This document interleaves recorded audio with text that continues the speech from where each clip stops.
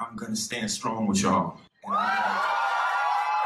That's actor Jussie Smollett just days after he claimed he was attacked by two unknown assailants in Chicago last month in what police were calling a possible hate crime.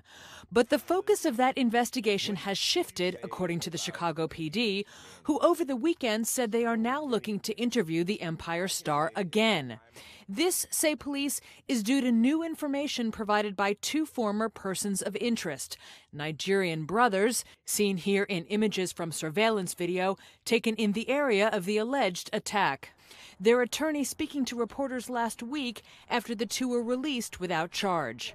New evidence that was brought to their attention. Obviously, I had it. Obviously, my clients had it. Um, but it, I think it took a matter of coordination.